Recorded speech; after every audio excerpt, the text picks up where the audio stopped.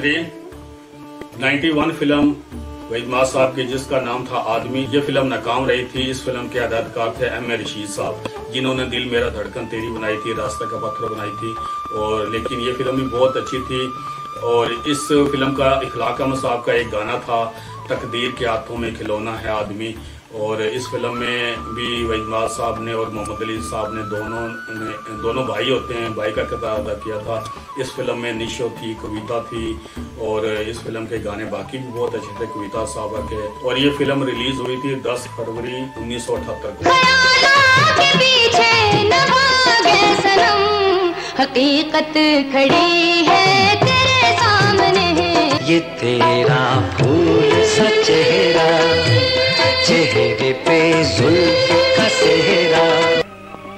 तुम्हारी नीयत कत्ल करने की तो नहीं थी। ये भी तो मुमकिन था कि वो लोग तुम्हें कत्ल कर देते। मेरे जमीर का ये फैसला है कि मैं झूठ नहीं बोलूँगा। दुनिया है तमाशा ये तमाशा है आदमी। तकदीर के हाथों में खिलौना है आदमी। चाँद सूरज की तमन्ना नहीं रखता ये गुलाम। मैं क्या सजा दे? मंडवा शुरू करो। काफ़ी पब्लिक हो गई है। क्या ख्याल है? नज़र मिलाकर जवाब दीजिए। ऐसी भी क्या जल्दी है? बड़ा जालिम है मेरा ये दोस्त। लेकिन कल फिर सही मेरी जान चला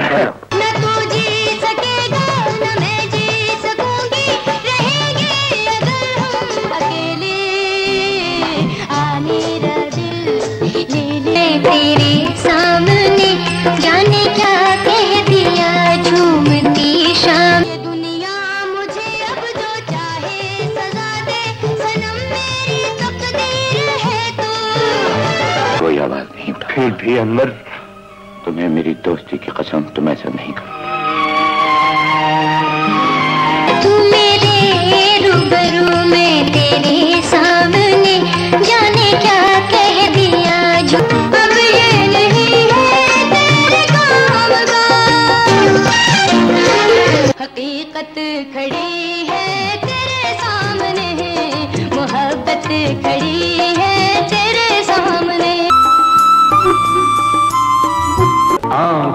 गज़ल है आपकी और होठ है ये तो याद है। रोगी तुम्हारे साथ देखता हूँ। तो मुझे बहुत दुख होता है बेटा। बहुत दुख होता अबू। आवाज़ वो जादू सा जगाती हुई आवाज़ बहुत ही खुश। आँखों से हो गई है आँखों की आशनाई क्या अल्लाह तेरी शान ये अपनों की अदा है।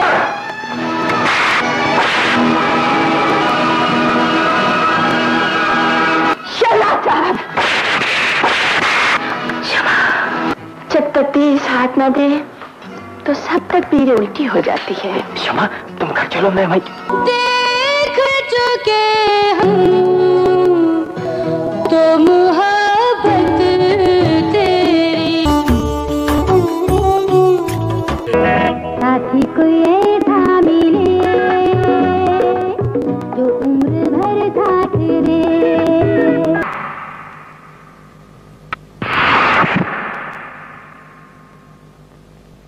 बात तो बता। तू और वो लड़की भाई बहन तो नहीं? नहीं नहीं दोस्त किसी ने किसी को इतना नहीं चाहा होगा। सुनो तो। सारा दिन तेरे साथ गुजारा शाम होने को आए माली डेकोरेशन कर रहा था मैंने सोचा मैं ही कर दूँ। पोंछ ले आँसू इन आँखों से पोंछ ले आँसू, इन आँखों से।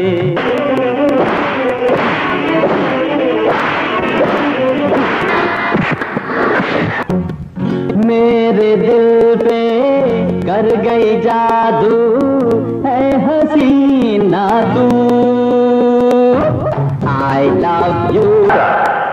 शेर के मुँह में मेरा याद देना चाहते? ठहर गए? मैं समझता था कि तुम्हारे सीने में शेर करती लेकिन आज पता चला कि तुम बुजदिल हो। जरा चेहरे को तो देखिए। कहीं चोर और चकों के चेहरे ऐसे मासूम होते हैं। तू है मोटा बोला कि तुम्हारा एज फोर्टी साल का हम बोला बाईस साल से एक दिन ऊपर नहीं। अरे नहीं साहब। ये तो बिल्कुल सीधा साधा आदमी है। नाजरीन 94 नंबर फ़िल्म थी, जिसका नाम था इंसान और शैतान। यह फ़िल्म भी 1978 को रिलीज़ हुई थी और इस फ़िल्म के हदायतकार थे खलीफा सईद अहमद।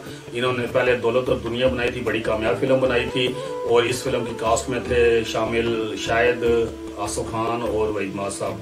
तीनों बहुत अच्छे इसमें थे, नजमा साहबा थे हीरोइन इसमें, और बहुत अच्छे वो थे एक्टर, लेकिन ये फ़िल्म नाकाम हो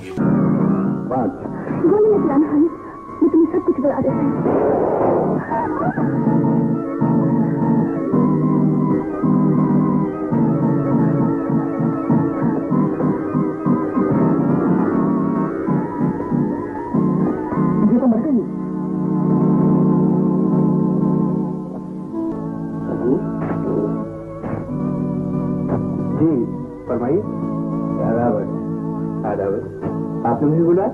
आपने मुझे पहचाना नहीं। आप अच्छे खासे कबाल हैं बस इससे ज़्यादा मैं कुछ नहीं जानता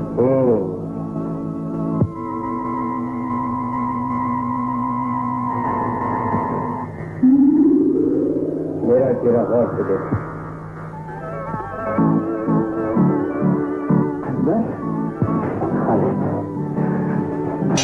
तू है मेरा प्यार। एक बार मेरे सिवा इस दुनिया में अरे तेरा दीवाना कोई नहीं हाँ कोई नहीं अरे कोई नहीं। करो इंतज़ार अभी कहाँ प्यार? मेरे सुनो मेरे दिल में अभी अरे तेरा ठिकाना कोई नहीं। नाजरीन वहीद साहब की 95 नंबर फ़िल्म थी शीशे का घर।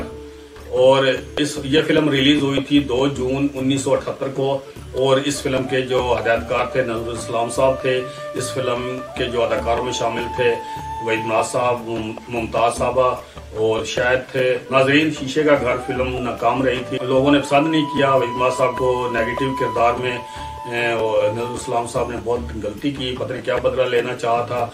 लोग लोगों के जहनों में वहीमा साहब विलन नहीं हीरो थे। विलन शायद लगता था भाई माँ साहब विलन नहीं लगते थे, किसी तौर तरीके से, नदीम साहब भी नहीं लगते।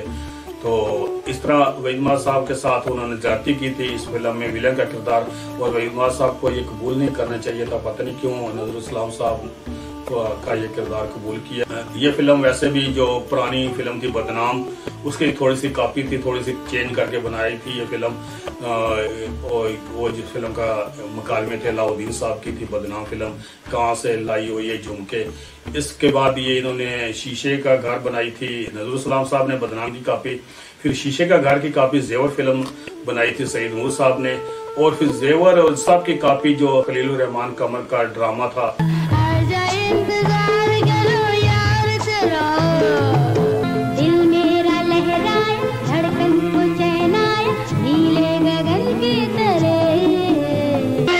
गिरना टूट जाएगा।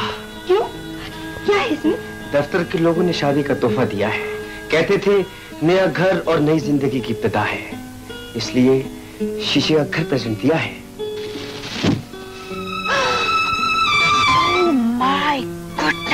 तेरे गीत गाऊं मैं रात दिन। मुझे और कोई न काम हो। तेरे साथ ही मेरी हो? सहर तेरे साथ ही मेरी शाम हो।